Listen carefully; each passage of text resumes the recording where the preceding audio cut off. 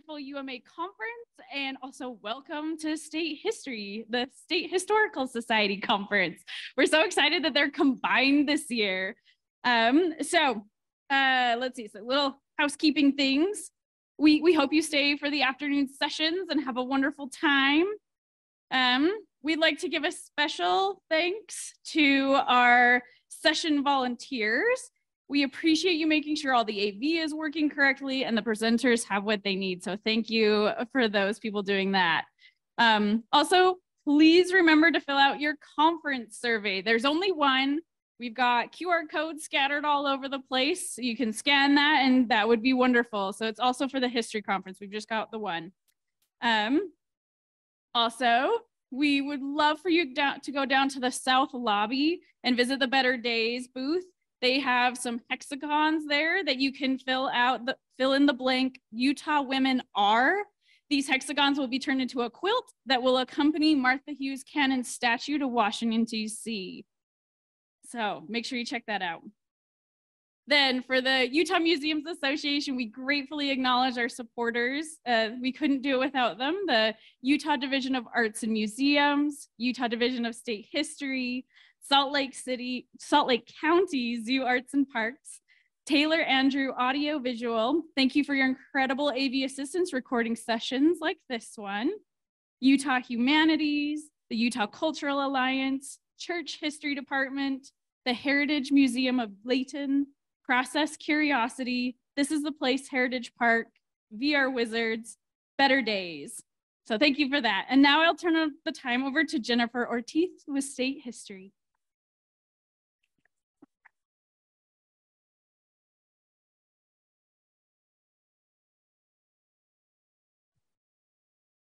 Good afternoon, everyone. Thank you so much, Diana. And we so appreciate partnering with the Utah Museums Association this week um, I want to give a huge special shout out to our administrative teams through Ruth White, Alicia Rowley, Veronica Solana Arangure, who without their amazing coordinating skills today would not be possible. So quick round of applause, please, for the, our team.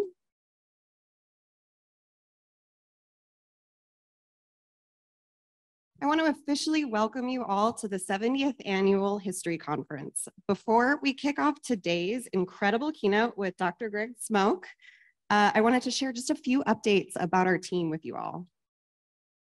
So um, for those new friends and old friends, I wanted to remind folks that we are the Utah Division of State History and we have a legacy of 125 years as the Utah Historical Society. We're part of a larger department under the Department of Cultural and Community Engagement and are proud to share this umbrella with eight other divisions such as Indian Affairs, Arts and Museums, State Library, just to name a few. In addition to our existing staff, we are delighted to share some new faces and names that have recently joined our team. In May, Monique Davila started as our new community engagement coordinator who is working on behalf of the Peoples of Utah Revisited initiative. In June, our administrative assistant, yeah, yeah, clapping for everyone, I love it. Um, in June, our administrative assistant, Veronica Solano Arangure, joined our team. And finally, in September, we were delighted to bring on Dr. Katherine Kitterman, our newest public historian who will lead our Women's History Initiative.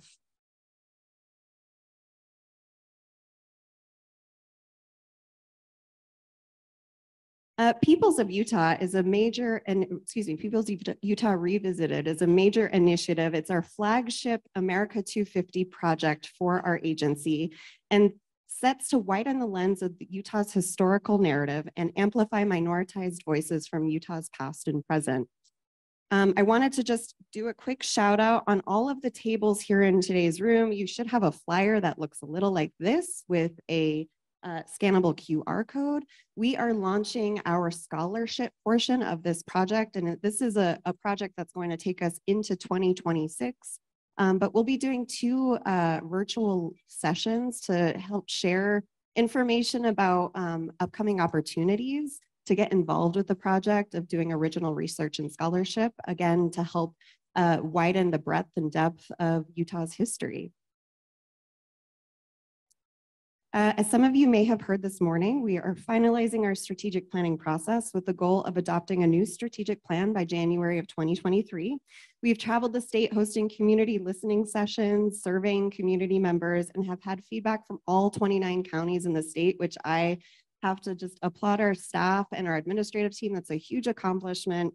Um, our strategic plan will help guide our organization for the next five years through 2027 um, through amazing transitions and change, such as um, the Museum of Utah. I'm going to skip that slide really quick and go back, um, which is a huge uh, opportunity for us to help expand Utah's narrative, but also have a presence on the Utah Capitol campus. So some of you may have heard this project. It is going up um, in the North Capitol part of the Capitol campus in Salt Lake City.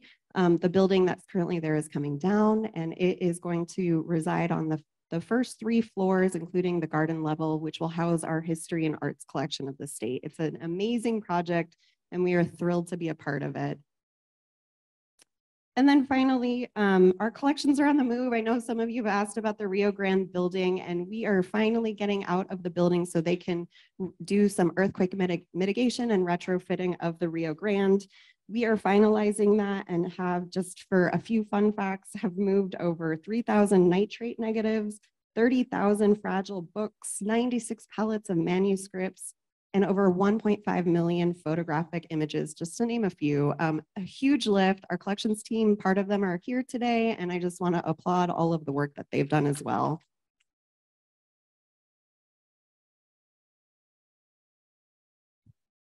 So that was a whirlwind, but I do want to invite now um, our board chair, Molly Cannon, to help introduce our keynote today.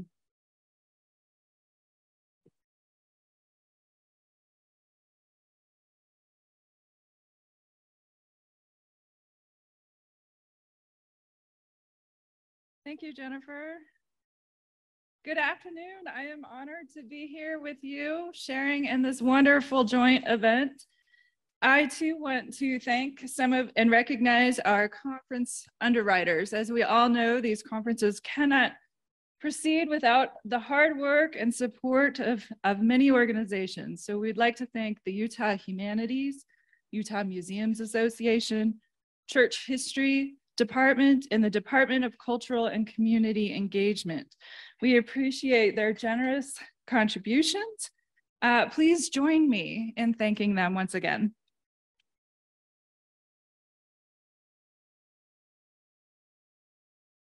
I also want to take just a moment to recognize the, the heavy work that our staff and volunteers uh, do to make these conferences such a success. So please join me in thanking them as well.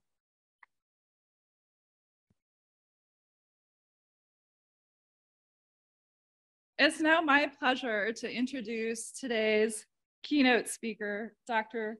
Gregory Smoak. Dr. Smoak is the director of the American West Center and Associate Professor of History at the University of Utah. He specializes in American Indian, American Western, environmental, and public history. He completed his master's degree at the Northern Arizona University and his doctoral degree at the University of Utah. He taught at Colorado State University and the University of Minnesota. We know him as the editor of Western Lands, Western Voices, essays on the public history in the American West, and as the author of Ghost Dances and Identity, Prophetic Religion in American Indian Ethnogenesis in the 19th Century, as well as his forthcoming environmental history of the Little Bighorn Battlefield National Monument. Greg's association with the American West Center began in 1988 and has included projects with the Shoshone Bannock tribes, the Ute Mountain Ute tribe, the Big Sandy Rancheria of Western Mono Indians, the Navajo Nation, Nevada Indian Commission, and the Utah Division of Indian Affairs. He's the past president of the National Council on Public History and has served on numerous committees for professional organizations, including the National Council on Public History, the Organization of American Historians, and the Western History Association. please join me in welcoming Dr. Greg Smoak for our keynote, The Confluence of Water, History, and the Public in Utah.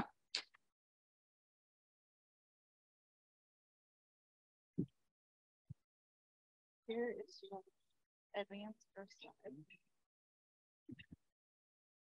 All right, thank you so much, Molly. And thanks to everybody here. This is a big room, um, quite impressive. Um, hopefully, most of you will still be here by the time I'm finished talking. Um, I am sometimes long-winded, so I'm going to spend a lot of this time reading directly from my computer rather than just doing it off the cuff, because if that's happened, we'll be here a couple of hours. But again, this has been a great run with Think Water Utah. And um, this is sort of the culmination of that multi-year effort. So I've been so proud to be part of, and you'll hear a lot about it. You've already heard a lot about it today. You'll hear about it in other sessions, um, I'm sure. So I'm just going to jump right in and oops, see how this works. And just say in Utah of late, it seems that water has been both everywhere and nowhere at once. For the past two decades, our state and the rest of the American West has been locked in a mega drought, the, the region's worst in 1,200 years. At the same time, unprecedented population growth and the, impo- and the increasingly impossible to ignore impacts of climate change have pushed the West toward the brink. Um, the crisis on the Colorado River portends both painful cutbacks for water users and decades of legal and political battles to come. Meanwhile, declining water levels on Great Salt Lake threaten air quality and human health for most of Utah's population, in addition to the, its impact on migratory birds, brine shrimp, and the other species that depend on the lake's ecosystem. That's the nowhere part. The everywhere part is the awareness of the water crisis in the media and in the public consciousness. Once a local or regional story, the West's disappearing water has become a, a, story of national, even global interest. The New York Times, the Washington Post, the Guardian, and CNN, among many others, have covered the crisis. HBO's John Oliver even made water a subject of a recent episode of his show last week tonight. And if you saw that one, you know, Utah didn't come off looking too good. So everywhere it seems, alarm bells are finally sounding. And so the context for this talk today is the project that's been going on for three years, Think Water Utah. Um, and in that context, I have found all of this alternately horrifying and sometimes gratifying. As a citizen who cares deeply about the as cares deeply about Utah and the West, I am worried about our future. We live in a time when both the validity of science and the meaning of history are under attack. Neither trend bodes well for dealing effectively with our uncertain water future. Yet at the same time, as a publicly engaged historian, I remain hopeful that my work and the work of so many others on projects like Think Water Utah will benefit our community by contributing to public discussions as we face such consequential decisions. Now, when I say that, I'm not suggesting that history provides an objective roadmap for the future. We've all heard the saying, right? Those who cannot remember the past are condemned to repeat it. Well, in fact, historians are notoriously bad at predicting the future.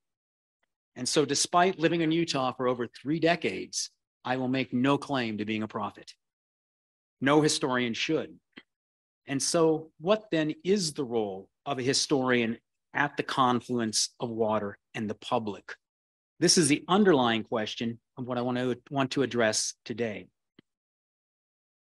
Now, in the interest of time, I'm going to skip the next paragraph. I was going to talk about the Think Water Utah project, but I think you heard a lot about this already today, and you're going to hear more. But just thanks to all of the folks who worked on this. It was a, a great um, team. I might note that um, Megan Van Frank has lovingly called it the Water Circus, and that the big top of the Water Circus will be coming down this Saturday in Monticello at the closing of the H2O Today exhibit. So after three years of planning and two years on the road, or three total years.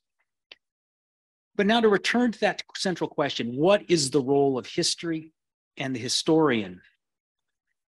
Um, if historians make poor prophets, we can provide useful historical context and hopefully spur public discussion. In public facing projects like Think Water Utah, our central goal is to provoke visitors and readers.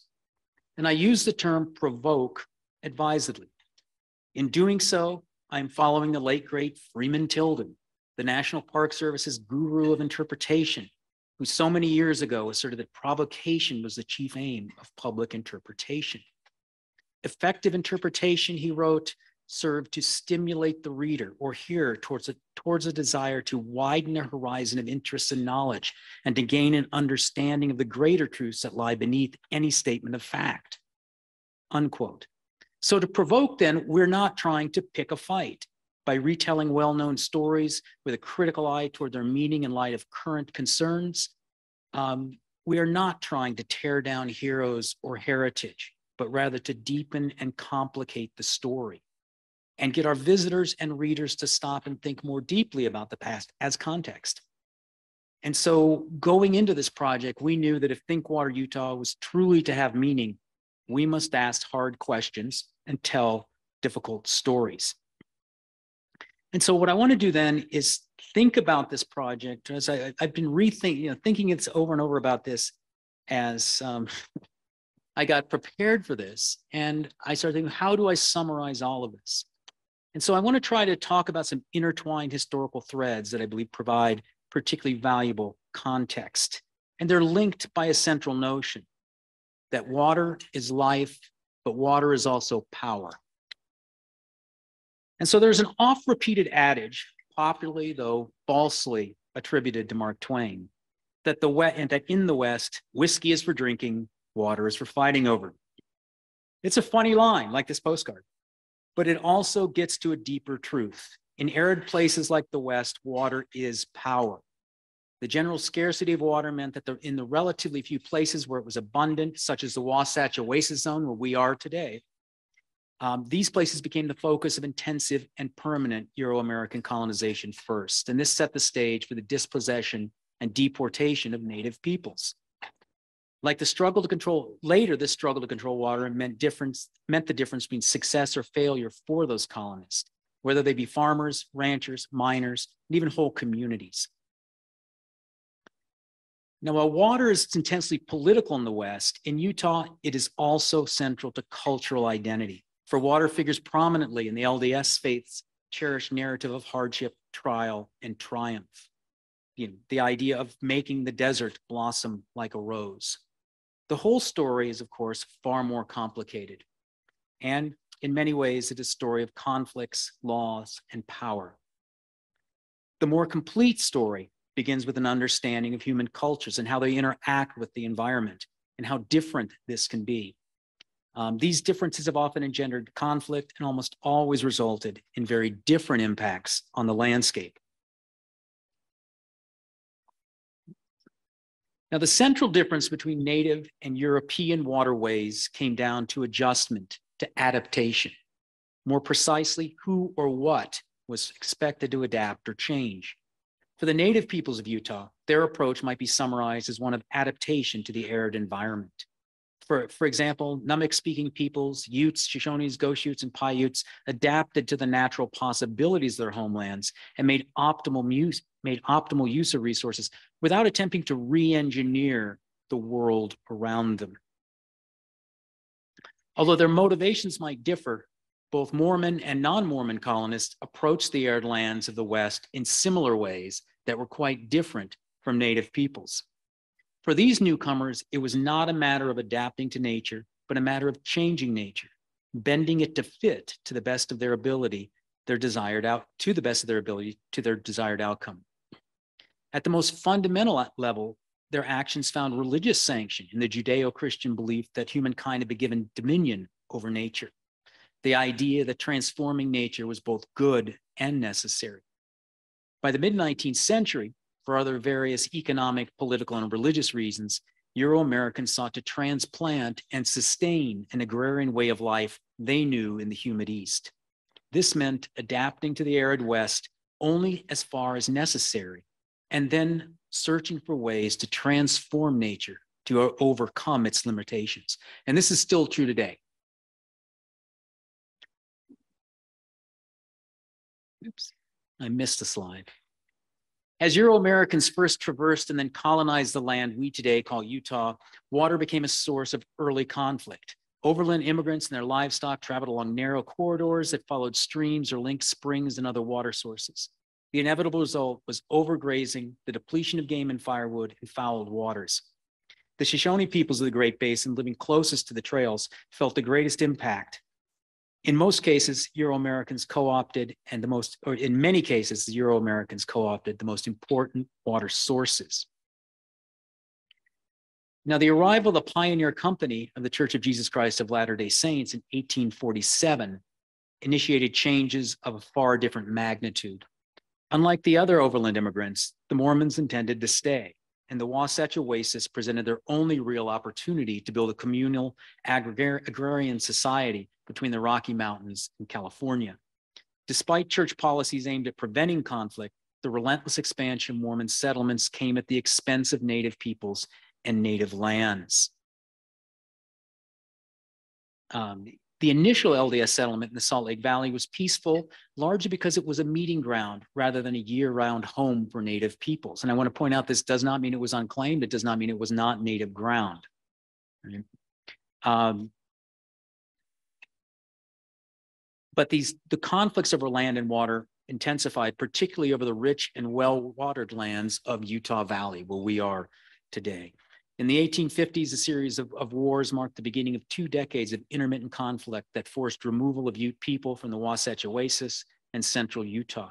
Meanwhile, to the north, LDS settlers expanded into the Cache Valley homeland of the Shoshones.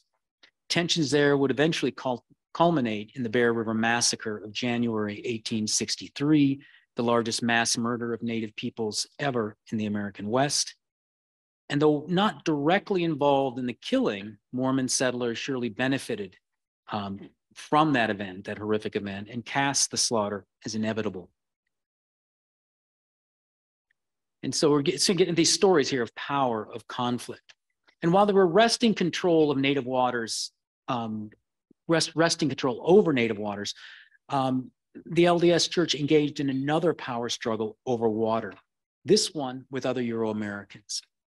In leading the exodus to Utah, Brigham Young hoped to build an autonomous, self sufficient society with minimal dependence on outsiders or outside influence. Control of water was an essential part of these plans. This struggle, however, would not play out on the battlefield, but largely in the arena of law. Into the 1880s, territorial laws worked to preserve local, that is, Mormon control over water. And now, at the risk of putting you all to sleep, just a very brief primer on water law in the United States, because it's, it's just so central to this argument, right?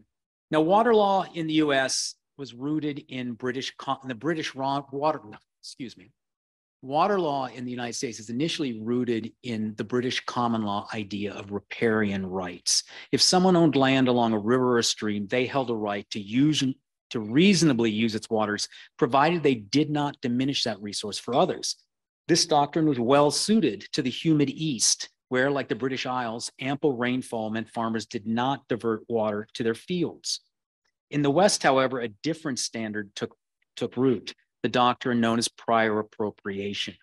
It rests on two principles first in time, first in right, and beneficial use. Water rights were not tied to land ownership, but rather depended on establishing an official claim or priority date.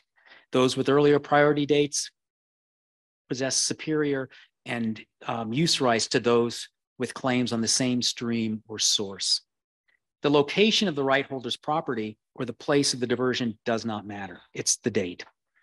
Um, the doctrine also rests, though, on this requirement for action. And this is where beneficial use comes into play. Under prior appropriation, water is still considered a community resource, not exactly private property. It is the right to use a specified amount of water. Right holders, whether they be individuals, corporations, or municipalities, must prove up their claim by putting the water to use. And if you fail to do so, you run the risk of losing that. And that's why prior appropriations often just this idea of beneficial use is known as use it or lose it. And this has a real important, real important implications for the way we use water. And in a session just before this, um, Darren Perry brought that up right, of the, his neighbor who's going to water his alfalfa um, incessantly because there's a fear that if I don't use that water, I will lose that water. Now, for LDS settlers, however, religious ideals led to specific settlement patterns and served to delay the implementation of prior appropriation in Utah. At a time when other Euro Americans embraced capitalism and individual homesteads, the saints, brought, the saints sought to recreate the communitarian values they saw in the compact settlement of early New England towns. Water law was part of this. Land could be privately owned, but water could not. As communities and cooperative irrigation works sprang, sprang up along the Wasatch Front, local church leaders administered water rights, not according to priority dates, but according to established needs and, perce- and the perceived worthiness of the individual. As federal presence in Utah increased, the church moved to decentralize water control, less federally appointed officials intervene in the process. Water and timber resources came under the purview of county courts in 1852, the 1865 law that provided for the organization of, a, of self-governing irrigation districts included provisions to prevent outside investment and outside influence. Yet, over time, the powerful appeal of Gilded Age individual capitalism grew, in, even in Utah. And in 1880, the territorial legislature repealed the 1852 statute that charged um, and charged county water commissioners with recording water rights and determining superior and inferior rights based on seniority. By 1903, which is a surprisingly late date, Utah enacted its first water code, and prior appropriation was the law of the land. Now, while early LDS attempts to hold the outside world at bay through the control of water were ultimately unsuccessful, they provided partial inspiration for the alternative vision of Western development proposed by Major John Wesley Powell.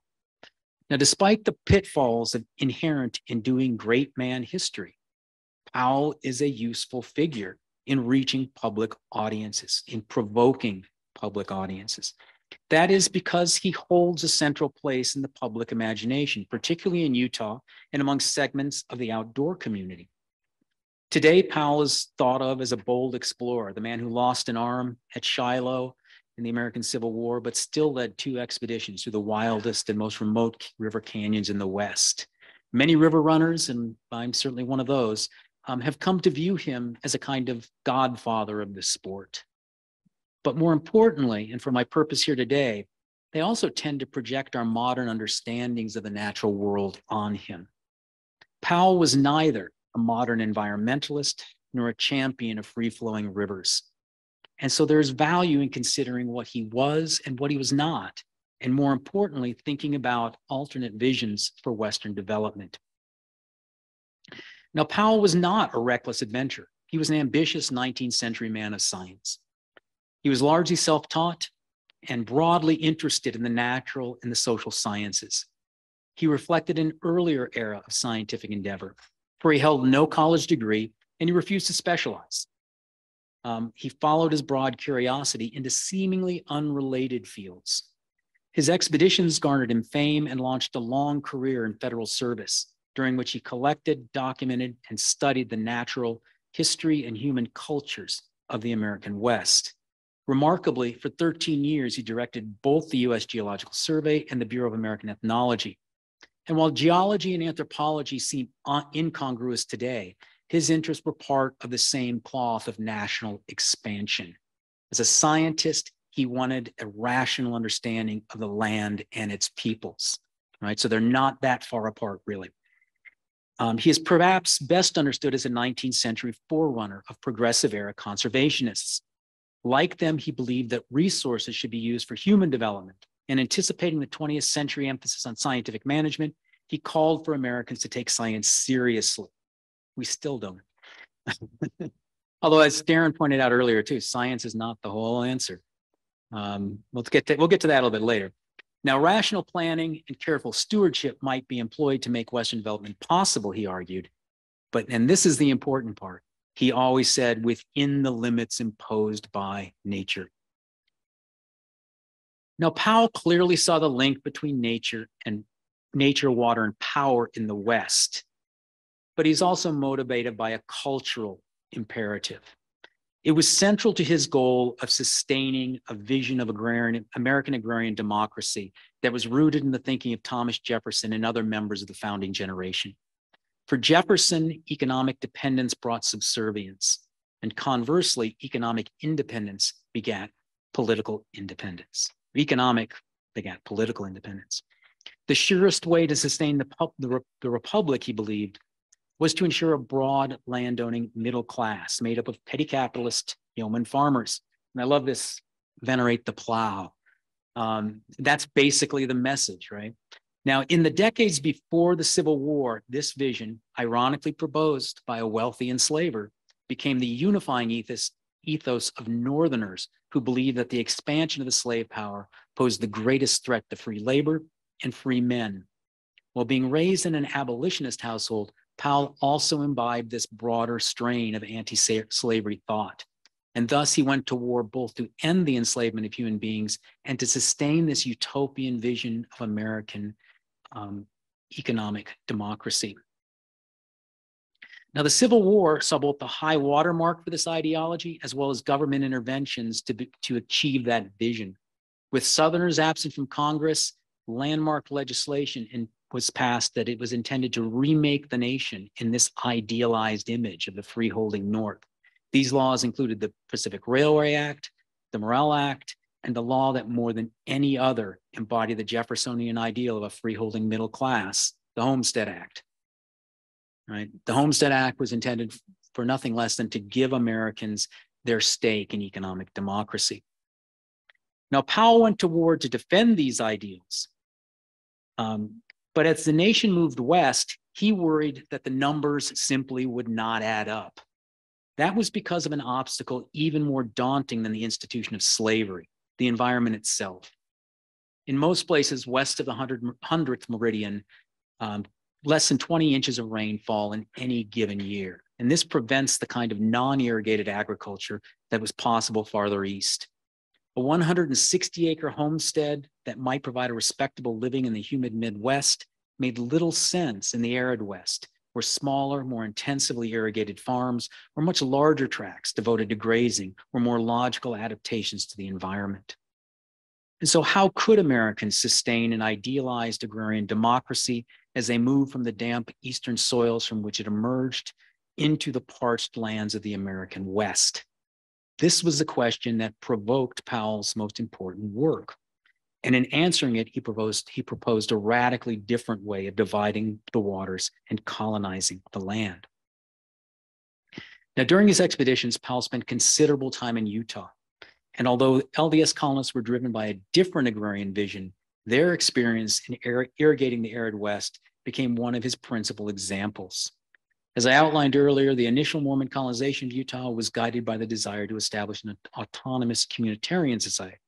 Powell did not share the same concern with isolation and autonomy, but he did want to restrain corporate interests and prevent the concentration of wealth and power in the hands of a few. Thus, local control was essential to his plan, and that is why Mormon laws and communitarian development provided important examples. Now, Powell presented his plan for the American West, which Wallace Stegner deemed a blueprint for a dryland democracy, beginning with his 1878 report on the lands of the arid region of the United States. It also includes one of the great visuals that is used in um, the Waterways essay, and we've used throughout the Think Water Utah project, that colorful map, which is a, a visual rendering of, reimagining what the West might be. And I'll talk about that in a moment, right? Now, unlike booster visions of unlimited growth, Powell's blueprint reflected understandings of environmental realities. He estimated that only 3% of the West could be successfully irrigated. That was his estimate, 3%. Today, there are about 1.2 million acres under irrigation in Utah. That's roughly 2% of Utah's land area. Still, even at 3%, this meant bringing 100 million acres under irrigation to provide homesteads for a million or more American families. It would be a monumental task demanding careful planning and enormous amounts of money and, uh, money and labor. It would also require the application of technology to utilize every drop of the region's scant water. That the West Rivers should, indeed must be tamed was not a question for Powell. He wrote in one of his uh, last articles in Century Magazine, quote, conquered rivers are better servants than wild clouds. Like his contemporaries, he believed that water resources should be fully developed. So, quote, no water runs to the sea.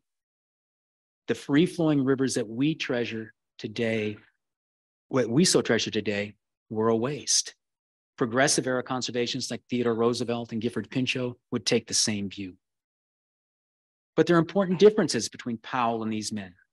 He did not envision or desire federal management by experts, as later progressives would, the government, he thought, should provide the infrastructure and the technical assistance, but the ultimate management of the resource must be left up to the actual residents, preventing the concentration of economic power and sustaining the, the cherished vision of agrarian democracy. Now, this interaction between the natural world and political ideals is at the heart of Powell's alternative viewpoint for the West. Um, most importantly, it entailed a redrawing of the arid West political boundaries to align, to align with natural watersheds. Our current state, county, and township boundaries were drawn mostly on straight lines of the um, imaginary survey grid. They divide watersheds and make conflicts over water rights inevitable. Now, in the American West, that has meant a handful of big, squarish states. More effectively, Powell thought those states should be replaced by 200 or more watershed units, what Powell called natural districts. And that's what you're seeing on this map are the major watersheds and the watersheds within them, right? In these districts, prior appropriation would be set aside in favor of a hybrid doctrine of water allocation. Water rights would be attached to land ownership, but unlike riparian doctrine, the quality and the location of the land would be central considerations. I won't go into the details that I was about to, but he basically divided these watershed districts up into three different classes. And the best lands would get and keep all the water. Those best, best lands would be the higher lands near the headwaters that could be irrigated very effectively. He suggested only 80 acres of farm, right? And a, a, a rafter of other ideas that were meant to, again, recreate this idea of, a, of an agrarian democracy. Now, ever the rational scientist, Powell's first step in reordering Western settlement and water rights along these lines would be a comprehensive irrigation survey of the region. With the initial support of powerful Western senators like, like Nevada's um, William Stewart, who in truth hoped the project would facilitate rapid and unfettered development, Congress funded the irrigation survey in 1888, and Powell got to work. But most Westerns did not want to hear Powell's message of natural limitations and democratic control. Stewart and other Western boosters quickly concluded that Powell's survey would not advance their plans. And after only two years, Congress cut funding for the survey, effectively dashing Powell's vision. Now, the ascendance of a different technocratic capitalist vision for the West was on full display in Los Angeles, California in October of 1893, when Powell spoke about water in public for the final time. And I'm kind of trying to emulate Powell today in that. Um, Powell was there as the honored guest of the Second National Irrigation Congress. The gathering was the brainchild of William Ellsworth Smythe, who published Irrigation Age in his adopted hometown of Salt Lake City. The attendees were largely a mix of boosters, developers, and government officials. Powell delivered his keynote on Friday the 13th, perhaps an omen. He began by avowing his commitment not to the railroads or other great enterprises, but to quote, a system that will develop the greatest number of cottage homes for the people. I am more interested in the home and the cradle than I am in the bank counter. Whether they truly agreed with such popular sentiments or not, the developers and boosters in the room applauded along with the men who did share Powell's vision. As he continued his address, however, the mood in the room quickly turned. Um, from, from warm reverence for the Civil War hero and audacious explorer to outright hostility. The grumbling started when Powell called out the folly of ignoring nature. And I'm going to read you this whole quote because I think it's, it's pretty amazing how powerful this is. He said, Now, what I wish to make clear to you is this there is not enough water. to irrigate all the lands. And when all the rivers are used, and when all the creeks and the ravines, and when all the brooks, and when all the springs are used, and when all the reservoirs along the streams are used, and when all the canyon waters are taken up, when all the artesian wells are taken up, when all the wells sunk or dug that can be dug in this arid region, there is still not sufficient water to irrigate this region. Do I make that clear? There is but a small portion of the irrigable land which can be irrigated when all the water, every drop of water is utilized, unquote. Yeah, wonder what he was thinking. He then issued a prescient warning. He said, as years go by, the interest in these water rights will swiftly increase. I tell you, gentlemen, you are piling up a heritage of conflict and litigation over water rights, for there is not sufficient water to supply these lands. By this point, it became difficult for Powell to continue his speech. Some men booed while others assailed Powell with questions and counter evidence. Frederick Newell, Powell's subordinate at the USGS, who would become the first director of the Reclamation Service, wired the Home Office that, quote, the whole crowd jumped on him for some general statements. The Mexican dele- delegate said he liked that. It was the only bullfight he had yet seen in this country, unquote. A year later, Powell resigned as director of the USGS, and he would never speak in public on water again again, my my my goal after today. So if you start throwing things or heckling me, it would be much appreciated. Now, now the delegates to the Irrigation Congress um, would stand no talk of limitations. Limitations. They embraced a vision of unlimited expansion and prosperity. They also shared in the growing faith that technology would overcome any natural limitations, that humankind could engineer itself out of any bind, what we might call the cult of the engineer. While technology undoubtedly can and has improved our existence, for some problems, there just aren't technical fixes. Now, this brings me to the dominant place of urban water demands in Utah and the American West. By the way, that's Salt Lake City in 1910. If you notice the smog, it's pretty amazing, that photo. Um, the dominant place of urban water, right? Now, Powell, of course, was envisioning Western water development nurturing an agrarian democracy. But by the late 19th century and through the 20th century, cities exert their power in the struggle to control water. This should not come as a surprise for the West and ha always has been an urban place. And today, the West is the most urban region of the United States. About 81% of Americans live in places defined urban, while in the West, over 90% of citizens live in urban areas. And while about 80% of the water used in Utah still goes to agriculture to this day, urban growth accounts for the greatest increase in demand and has led to technologically complex, incredibly costly, and environmentally, potentially environmentally detrimental proposals to meet current and projected demands. And so I'm going to leave Utah and I'm going to go to California for an example. Right? If we go back to that day in 1893 when Powell gave his fateful final speech, one of the men in the audience who stood in protest was William J. Mulholland. Right? Then the superintendent of the privately held Los Angeles Water Company and later the head of the Los Angeles Department of Water Power, which today remains the largest municipal utility in the United States. In rebutting Powell, Mulholland shouted, quote, in the Owens Valley during the month of July, 500,000 inches of water run to waste and not one inch was used for irrigation. That might be true, but Mulholland was not really interested in irrigation. His focus was on, on the current and more accurately, the future needs of the budding metropolis he called home. His comments suggest that his sights were already sight set on the waters of the Owens Valley as a solution to Los Angeles' looming water crisis.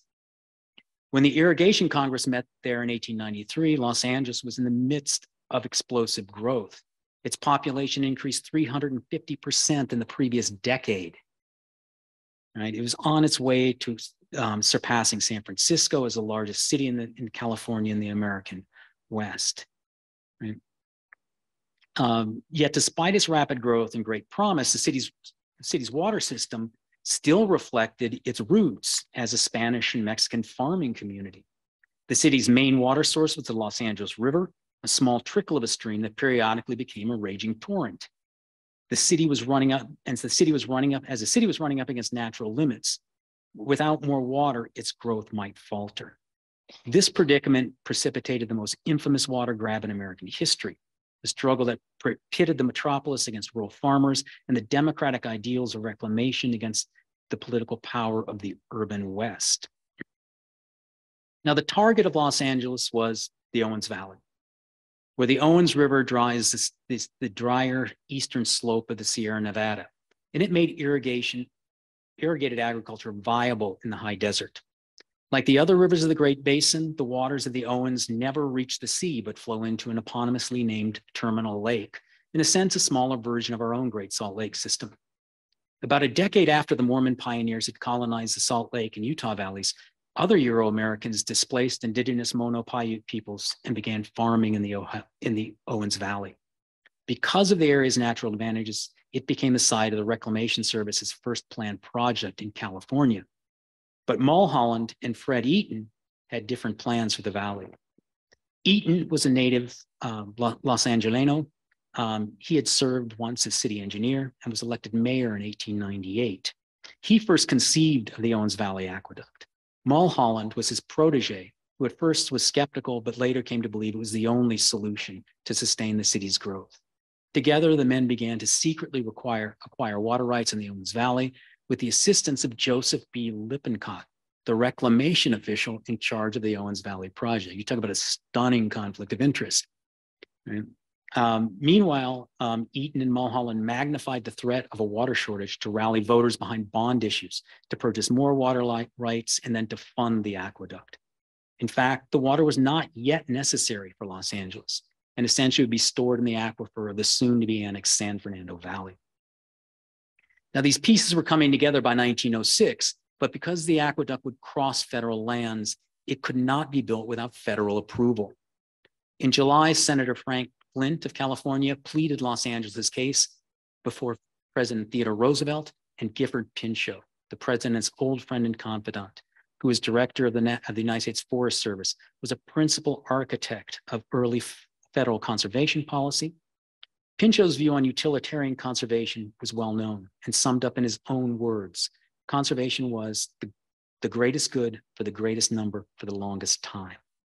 Very utilitarian point of view. It did not take Roosevelt long to deem the water more valuable to Los Angeles and better used there.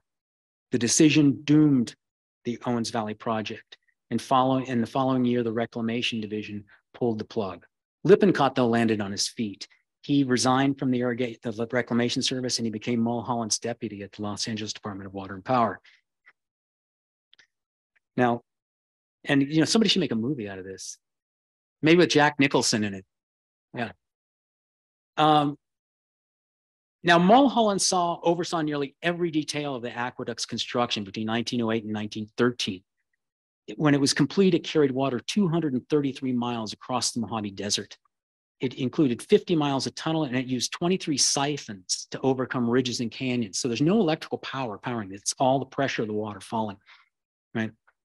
It was a technological marvel, but it did not impress the residents of the Owens Valley, nor did it slake Los Angeles' thirst.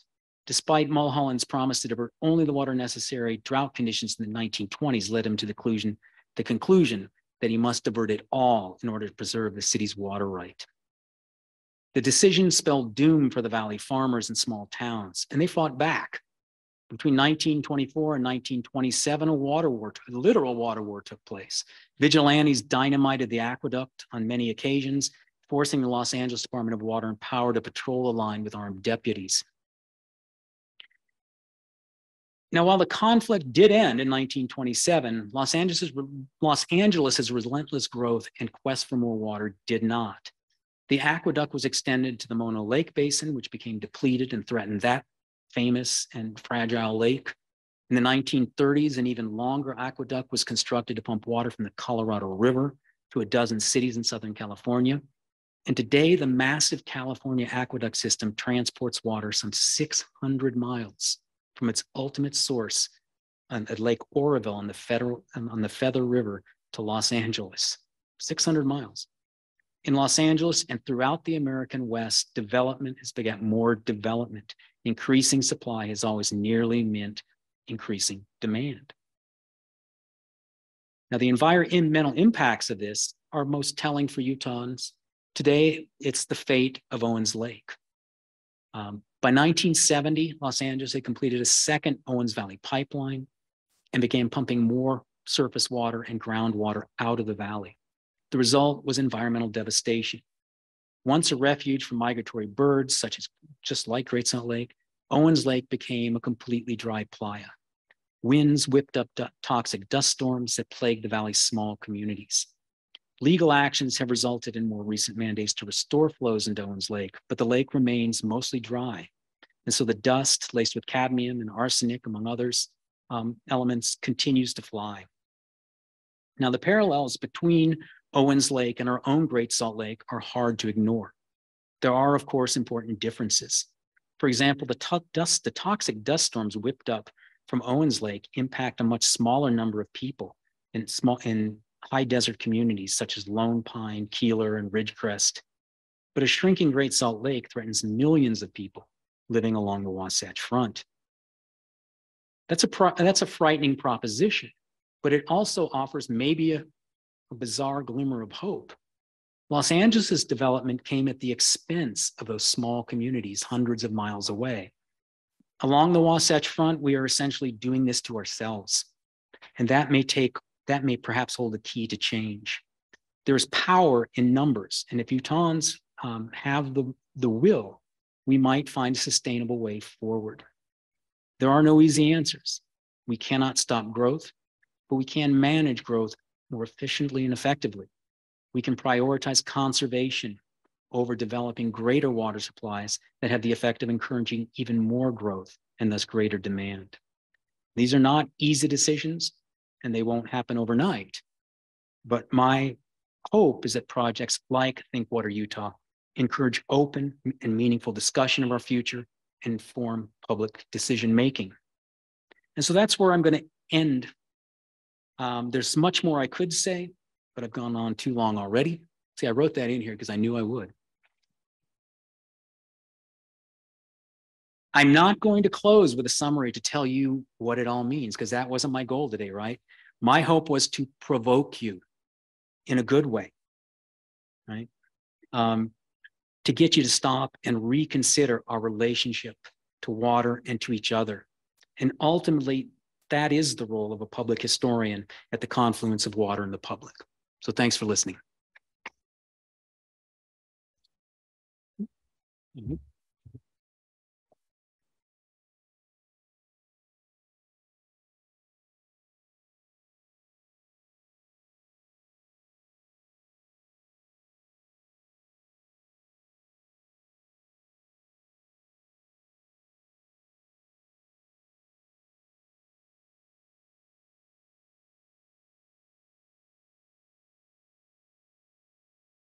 Are those on? Let's see.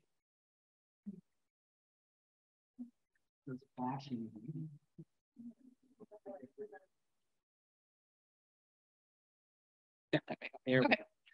Uh, we, we'd like to invite questions from the audience for Dr. Smoak. There is a microphone here. Uh, because this is a recorded session, we do need you to come up to the microphone to ask your question. And there's also a microphone over here um, on, um, I'm completely turned around. I have no idea which directions these are, but to the right and to the left. So please, are there questions from the audience? Yes, come on over here to the to the microphone. And then I'll just yeah, that's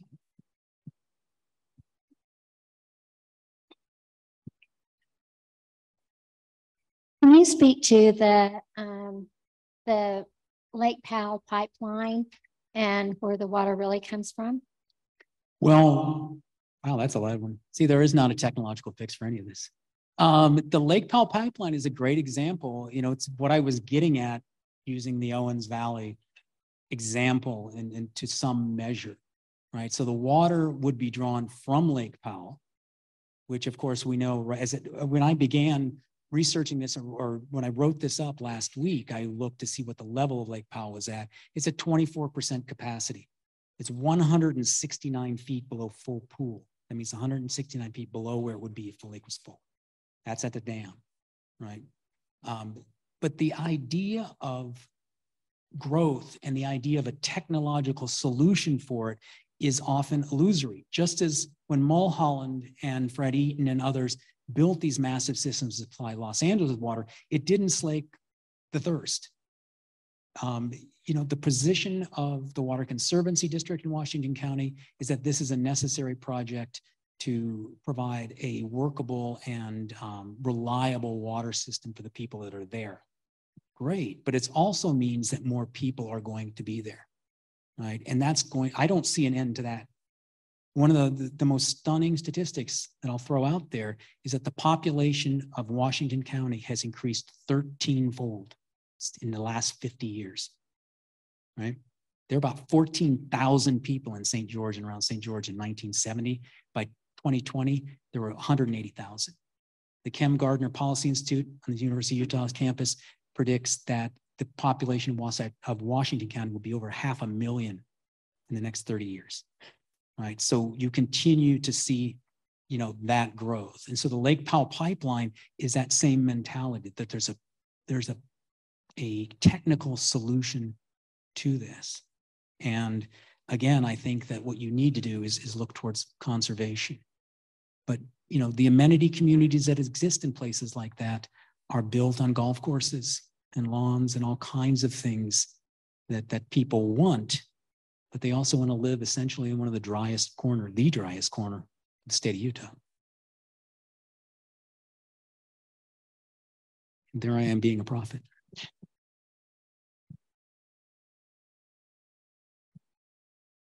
Thank you again for sharing all of this for what must be three years now. Um, my question is um, in regards to recreation activities, not only on um, the rivers, but the lakes on down um, to that potential pipeline. How do you see um, those folks either helping or hindering what you're what you're provoking us to do today? Well, I think that if, if people, I think recreationists, and I'm going to speak, I mean, there's different kinds of recreationists, right? There's power boaters who are interested in having full reservoirs um, so they can boat and water ski. Um, there are skiers who are interested in um, a more sustainable snowpack. And, you know, the, the decline of Great Salt Lake, it impacts the ski industry in, in more ways than one. It's not just about lake effect being reduced. It also means that dust in the air lands on snow and it means it melts faster. And so it shortens that season. Um, river runners, of course, want full streams and it's in the spring. Um, so, you know, I think that I said this earlier in the session, I think that it's kind of cynical, but I do believe that um, the solution is going to come when people feel a personal impact. And I think that all of those communities have already felt that impact. And I think that it's going to get even more intense as everyone does, right? Not just the dust on their cars, but when their kids start coughing because they, they have respiratory ailments because of the dust. Um, I think that that will eventually um, drive the change. But I think it, it often does start with people in the outdoor community who often see themselves as environmentalists.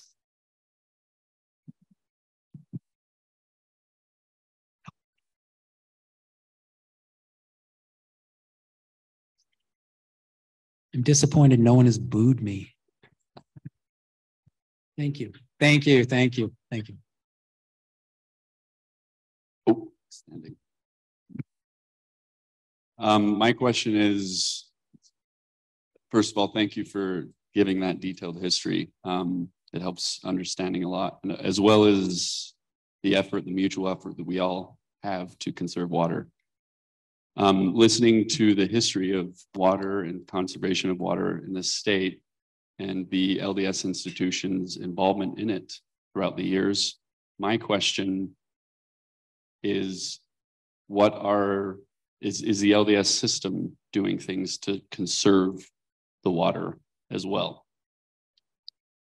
I don't know that I can answer that question from, say, the, the, the church's perspective, not being a member of the church. However, I will say this: there was a semi weird article in um, The Guardian. And then people saw this where it said that, that there was this Mormon imperative to have green lawns. And this was something in Utah that led to a lot of water use. And in fact, I don't see it as a Utah or a Mormon thing. I see it as um, American thing, as a United States thing. And so I think it's somewhat misplaced to say, you know, what they did was go back to that idea of making the desert blossom like the rose, right? And so that puts the pressure on green grass. But that's, it's just simply not limited to the Mormon population. And this was, this struck me the other day in the Washington Post. I was reading about Coalinga, California. You know what's going on in Coalinga? They're about to run out of water completely, right? Completely out of water. And the mayor refused. He's the only one in the city council who voted against a ban on watering the front lawns. And he said, if you go up to Sacramento, they have green grass at the state capitol. They can have green grass. Why can't we? I thought, well, yeah. So this is, it's, a, I think it's a broader issue than um, here. I think that, um, you know, the point being that, that, um, you know, LDS faith has, has a, has that old tie to water because you were talking about people who come from the humid East who then immediately set about irrigating and they have to, and they learn by trial and error and it becomes part of that cherished mythology. And I've said this many times. I think so many people, especially the people who live outside of Utah, um, they just think Mormons are really weird and they think Mormon history is going to be really weird and different. But I always point out, you know, the pioneer generation are largely nine, they're 19th century Americans. And the values, the, their perspective that they bring with them, right? It's going to be shaped by their faith, but it's also largely what other 19th century Americans wanted to do and what the, what they saw in nature.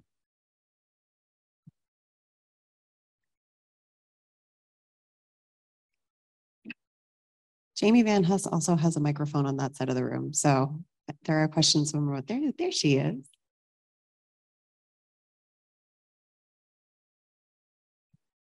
All right, I'm gonna do the mic drop. Well, thank you, Greg, again for your presentation today. Uh, can I, can we, oh, one more question. Uh-oh, the last one's always, oh, God. I did not want to be the Yeah, last yeah, question. yeah. Trouble rolled in. Actually, I asked this in a session earlier, but you, you mentioned we are uh, the population center. 75% of Utah lives along the Wasatch Front. Um, that's, that's strikingly different than what happened in Owens Lake. And there does seem to be um, a swell of interest among people in power to save the Great Salt Lake and understand um, water. I'm wondering, I have two questions because uh, there was a great point that was made in the last session in response to this question. Um, is there another example that you know of where a lake was, a terminal lake was saved or a saline lake was saved globally because of that fact? There's a population center or are we unique? And then the second question is, what are the power structures? Because the response to this question was agriculture, right? And that's a huge percentage of, of water use. What are the power structures that exist um, in this state that are going to argue for more impact on the population in, expe- in the name of using water? Hmm. Well, to answer the first question, I can't think of one right? I don't know of any um, lake that has been saved where there's a large population next to it. Owens Lake is the one you see a lot in the news. The, the, the worst example globally is, of course, the Aral Sea um, in, in Central Asia, formerly part of the Soviet Union, that was completely dewatered for a, a massive um, cotton irrigation project starting in the 1950s and um, is slowly coming back, but it was the largest saline lake on earth, I think, second. Um, so I can't think of another example. As for the power structure, um, it's going to be tricky. I think that there's going to be a lot of um, the leaders of Utah aren't going to touch that third rail that is agriculture. My concern, though, is even if you do, and even if you transfer all that water to the cities, that's going to hit and create that same dynamic that we see in Los Angeles or we see in St. George, where more people move in and then there's more demand again. And it's this vicious cycle. I see that happening you know, over and over again. As historian, I'm not going to be up here and talk about cycles of history and pretend things occur over and over and over again in some sequence. But in terms of what has happened before, that would be my concern. So I think what those leaders need to do is really press conservation. And we need to think about cultural changes, right? Do we need green grass because they have it at the state capitol? Right? Do we need to, to have particular things or do we accept where we live and make our lives here, embracing the place where we live? Right. So um, again, I can always cop out and just say, I can't predict the future. So Thank you. Uh, please join me in a round of applause for Dr. Smoak.